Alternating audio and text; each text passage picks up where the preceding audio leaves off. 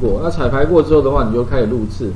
那第一个的话，我们可以参考那个第三十九页吧，哈，录制剧集也是这样开发人，这个开发人已经有了，所以不用再开了。录制剧集，那刚刚已经彩排过了，然后所以最重要还是你要先熟悉那些动作，然后那些动作熟悉之后的话，记得把它整个步骤哈，最好是先把它记记下来哦。那像我们在三十九页是有那些，所以我待会会呃一二三啊。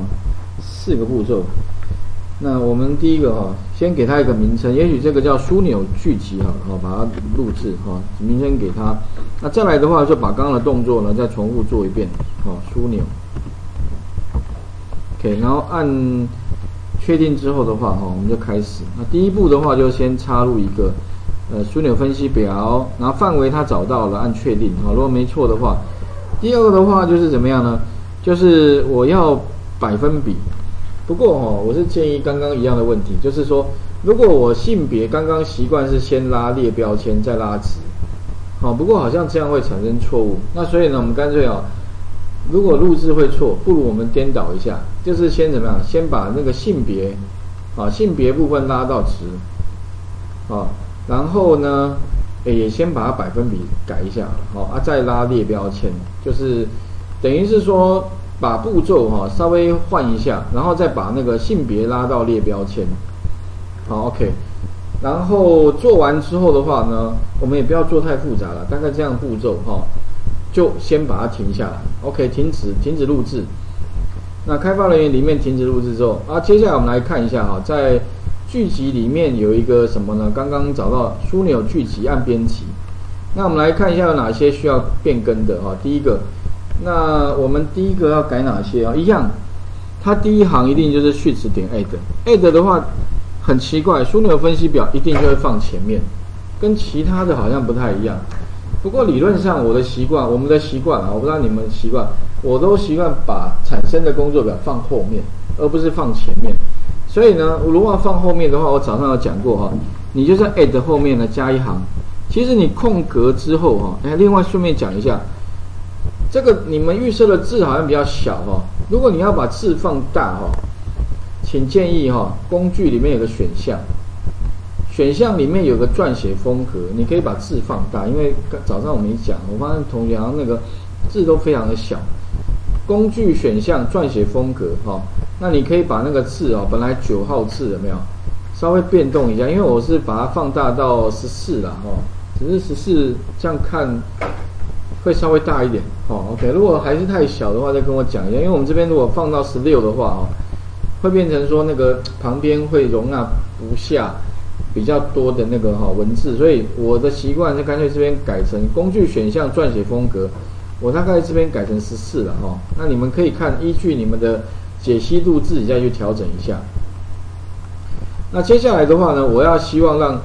新增那个工作表放在后面的话，那你可以在 add 后面空一格，空一格之后呢，其实它会有一些提示啊，它问你说，哎，你要放 before 还是 after？before 的话是放在左边还是右边？好，所以你先打一个 after，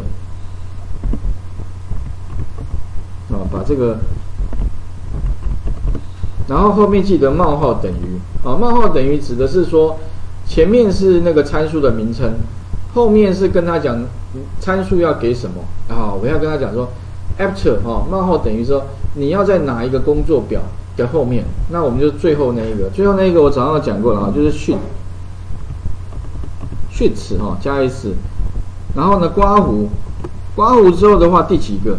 那当然目前看到你最后那个是第二个了。那不过如果又多增加一个，那不就变第三？那这个数字都会变动的话。你可以怎么用那个去抓它里面有几个好，所以再打一个序词，点 count 好，count 的话这边可以选哦，然后把它空白键后刮弧这样子，那这样子它就会知道说啊，我帮你把它放在什么呢？在那个最后那一个的右边，OK 就放在最后面。那接下来的话呢，就是什么？诶，底下这边还有哪些地方要改的哦？就是在再来的话。这个地方，这个是新增，哈，它会自动帮你新增一个工作表，再来产生一个 private cache 快取了，因为它目前还没有放任何东西，哈。那可能需要改的地方就是 table 的 destination 哦啊，我早上讲过，这个可能就是跟早上一样，你可以把它改成什么？改成那个哈续持续点 com，早上跟早上那个一样啊，特别是哦，这可能就是你在加的时候啊，记得那个不要少东西，也不要多东，因为这边很麻烦，是太长了。你如果只要错一个地方，你要找错误是比较麻烦的。那我要放在它的哪一个呢？是啊，最后那个工作表的，一般是 range 的那个 A 三储存格。不过你要放 A 二 A one 其实都没有关系啦，哈，只是说因为预设值是习惯放 A 三，好，那我就把这边改一下。本来是呃某一个固定的那个工作表名称，那我把它改改动。啊，其他的话还有哪一些需要变动呢？还有就是它的 version 哈，这个 version 建议还是先删掉，不然的话将来你给别人的话，他可能没办法开。还有 default 的 version。这个也把它删掉，哦。那至于这个画面哦，有一些可能要一定要删除，我有把那个画面截图放在云端上，你们可以再参考一下。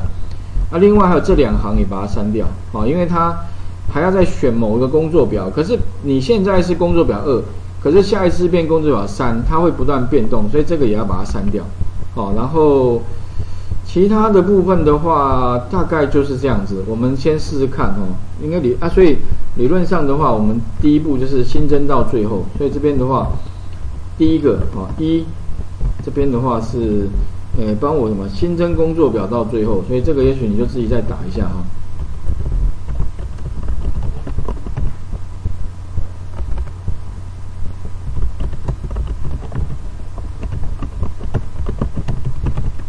然后 再来这个就是新增那个什么呢？哎，在第二个就是它会新增一个那个呃，就是叫什么？这个叫 private cache 啦，其实就是叫什么呢？叫做那个枢纽分析的快取，因为你还没有产生，所以在还没产生之前，它会有一个 cache，OK 哈。然后再来真正产生的话，就是这一行，就是哎真的帮你产生的哦，就是在这边就是第三个。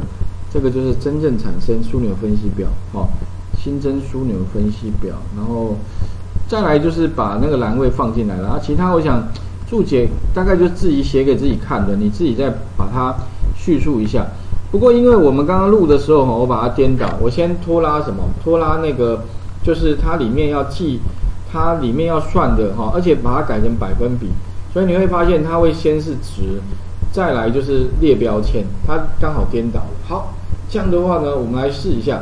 基本上哈，改完了，然后呢，再来我们来试执行看看。如果执行 OK 的话，就把它删掉。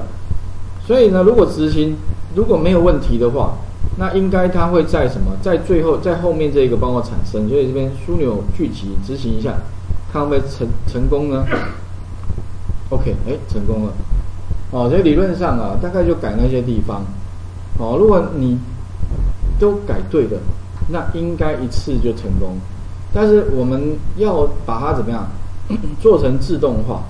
所谓的自动化，就是因为哈，我们这个地方性别已经有了，但是问题啊，性别之外还有年龄、教育程度，一直到最后一个。哎，那这个地方刚刚可以用那个 indirect 可以快速的解决。但是呢，如果在剧集里面哦，我们怎么样修改？它才有办法一个一个的帮我产生的哈。那这边的话呢，我们再回头看一下那个枢纽分析表哈，再加上去啊。所以刚刚我把重点再回顾一下哈。所以一，我刚刚改了这个 after 哈，就把那个我修改的部分哈，把它画下。啊，其他应该不用改了哈。这个第一个，这个第二个。啊，这个跟上面这个其实蛮蛮，这个可以这样把它抓下来的。其实这个我是把它复制过来，后面只是差别就多一个点，点那个呃 range A 三，哦，点 range A 三。那其他就是那个什么 version 有版本的那些讯息，我也把它删掉了哈。啊，这样子就改完了，好像也没有改其他的。哦，如果你这样就基本上可以跑。那最后可能会需要还要注意的地方就是这个，这个叫什么叫 source data，就是资料的来源。